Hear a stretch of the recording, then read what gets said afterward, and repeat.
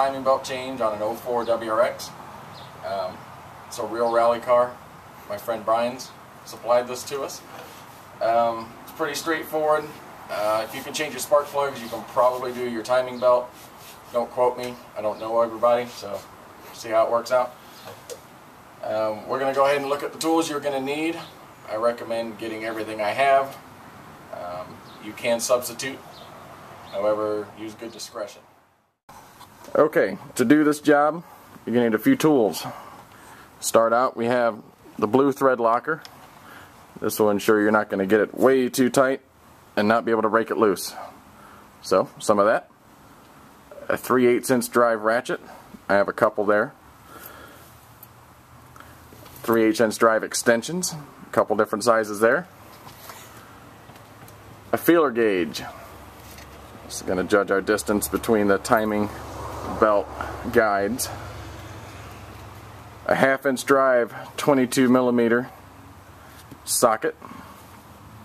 A 3 8 10 millimeter, 12 millimeter, and 14 millimeter socket. Metric Allen keys. I'm not sure exactly which size we need yet, but just have a, plenty of them on hand. Half inch to 3 8 inch adapter. 10 millimeter 3 8 inch drive hex keys. We'll need two of those. Half inch drive breaker bar. It's ratcheting and locks in place. We've got another one here. This one's 3 8 inch drive. Same thing. A 3 8 inch drive torque wrench. This one goes between 0 to 50 pounds, which is perfectly fine for what we need. Next we have an 8 millimeter wrench, a 10 millimeter wrench, and a 12 millimeter wrench. This here is our big uh, breaker bar extension. It's just a piece of black pipe, but it will do the trick to break loose that crank pulley, which is nice and tight. Telescoping mechanics mirror. Very handy to find your belt marks where you can't stick your big head. Flathead screwdriver and a Phillips screwdriver. We recommend Subaru coolant conditioner when you refill your coolant. And there is the two gallons of concentrated 100% coolant. And here, finally, if you're going to be reusing your tensioner, if you're just taking this all off to change your oil pump or water pump or just do some adjustments, you're going to probably use, reuse your tensioner at that point. And you'll need a C-clamp to reset the piston on it. That concludes everything you need to do this. We'll move on to the timing belt kit. Alright, this is our timing belt kit that we ordered. Um, we have OEM replacement parts except for the belt, which is a ContiTech by Continental. Um, it's a belt I've been using for a while now and have had no issues with. Pretty happy with it. Um, when choosing a belt, try not to go with a generic name that no one's ever heard of. You want to put the trust of your engine into something, um, maybe with a better brand name. Um, also, I'm not going to completely dog Gates on this, but this is a Gates timing belt. Um, job here it was on for 3,000 miles and there's a huge caking of blue gunk. I don't know what it is or why it came off on all the pulleys, but uh, not sure if maybe that's something that's intentional or not, but I wasn't real happy with that. So uh, I choose not to do the high performance belts myself. Um, here we have a brand new tensioner. Um, has the pull pin in it. Uh, this is the splined gear, idler gear the upper Koyo, the lower NSK. Now, with the small idler that we have, um, the updated idler, it's the exact same part number as the old one. However, with the old one, you're going to need a shorter bolt.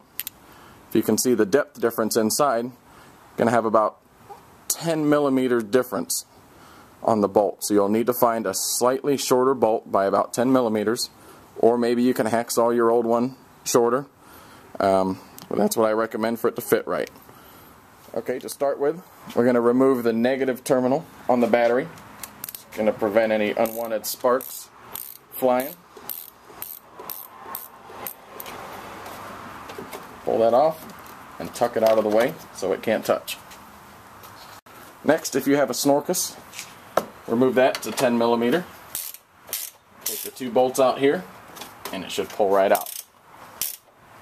Okay, next we're going to take the cap off of the turbo coolant tank. It's going to relieve any kind of pressure. Make sure your car is cooled off before you do this. Next, if your car has a skid plate or a splash guard underneath, we need to remove that. Usually it's 12 millimeter bolts and a couple of clips. Um, this car is used off-road, so it has a custom setup. We'll pull that off and we'll move to the next step. Okay, next we're going to drain the radiator. There's a drain valve at the bottom here. Got a little butterfly knob on it we need to turn. Um, it's a little hard to get to, especially with a big arm like I have. So we're going to re remove or at least unclip the power steering reservoir.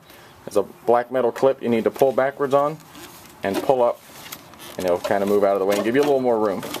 Okay, the coolant is about halfway drained. It's below this top level of the upper radiator hose. What we're going to do is remove that. Um, we've got this set up with just flathead clamps. So we'll loosen those and just remove the upper radiator hose. You can remove it completely. There's another one on the other side next to the power steering pump. Do the same thing there. And take the hose out. Next, we have the two coolant reservoir lines that go to the radiator. We're going to remove those. They have small clamps on them. You can just squeeze by, by hand. If they're too tight, you could use some pliers. They usually come right off though without too much of a problem. And swing the lines out of the way. Okay, next we're going to do the coolant expansion tank. Um, now on the bug eyes, or the 02, 03s, these usually have like a 10 millimeter bolt on them. Uh, maybe some of the STIs have them too. You can undo the 10 millimeter bolt and then unclip it. This model just has the clip only. So you push the black clip in and pull the tank up and out. There's also a hose in it that can come out and uh, you can just pull that out the whole thing comes out. Okay, next we're going to remove the lower radiator hose. Uh, there's a clamp on there. Undo that clamp. The OEM clamps are a Phillips screwdriver. We replace them with flathead worm clamps. And twist and remove that hose. Sometimes it gets stuck on there pretty good with gunked up coolant. And you're also going to get some coolant out of that. So have a bowl ready for it to spill out into. Okay, next we're going to undo the passenger side radiator harness. Now this is an 04 model, the 04, 05, maybe up, has the real pain in the butt connectors. I always like to use a small screw, um, pinch it with the thumb and the index finger, and push down on the small clip on the top and pull with my middle finger in order to pull the harness out. we're going to do the same thing on the driver's side. It's under a black piece of plastic and uh, it's a little bit more of a pain in the butt, but it can be done. Okay, now we're going to do the driver's side. It's under that black piece of plastic I mentioned. Pain to get to, but uh, if you have an 02 or maybe an 03 WRX, you might not be faced with this problem because they have the clips that you need to pull up on. They're a lot easier to pull apart. So once you get this one out, um, come over here and unclip the power steering line from the radiator if it's still clipped in place and we'll unbolt the radiator and get it ready to be pulled out. Next we're going to remove the radiator. We have two 12 millimeter bolts we're going to take out and these will remove the radiator brackets. Once you get those removed, place them out of the way or you're not going to lose them.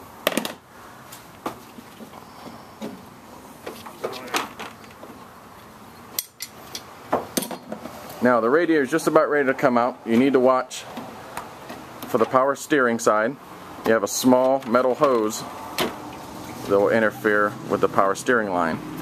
Once you've freed that up, tilt the radiator to the driver's side and you'll have coolant come out of the lower hose into the bowl below. Remove the radiator and set it in a spot where it won't get damaged. Okay, next we're going to remove the accessory belt cover. Um, this model has the throttle cables, so we need to pull those clips out. You need to squeeze underneath, pop the clip up. Now, if you can't get these with your fingers are too tight, grab some needle nose pliers or pliers to help you. Once you unclip those, take a 10 millimeter socket wrench, undo the bolt at the top.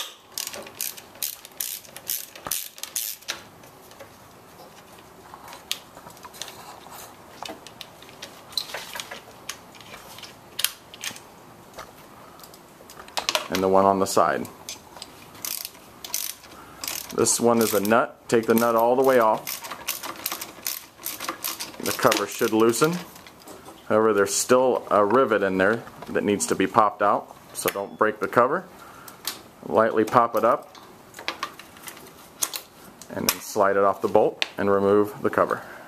Okay, next we're going to remove the crank pulley bolt. Well, not necessarily remove it, but we're going to loosen it. Um, you'll need a friend for this one to jump in the driver's side and put the car in third gear and hold the brake.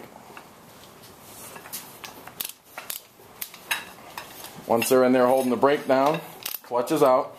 You're going to take a 22 millimeter breaker bar on the half inch drive breaker bar and my cheater pipe. The uh, pipe will just give you extra leverage. It's going to be tight. Put it on the crank. Holding the brake. Yep. And it should break loose.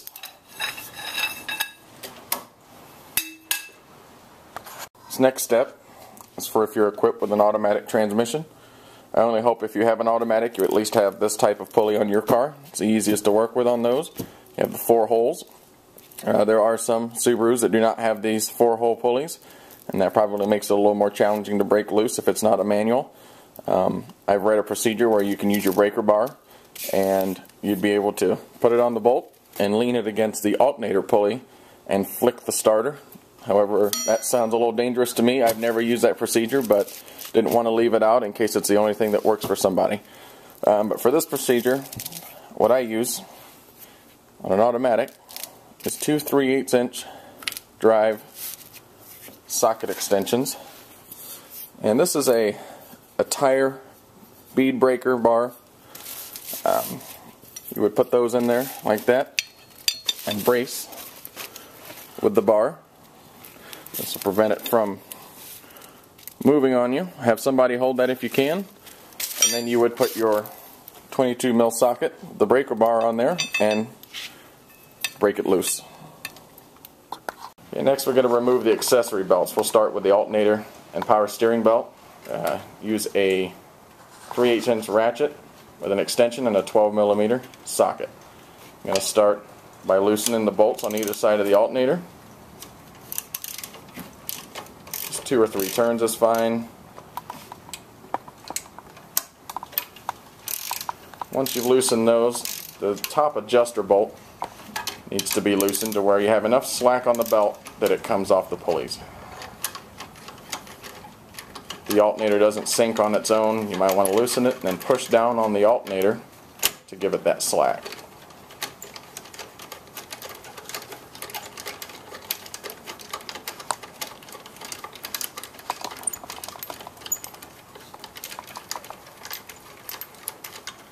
Then remove the belt.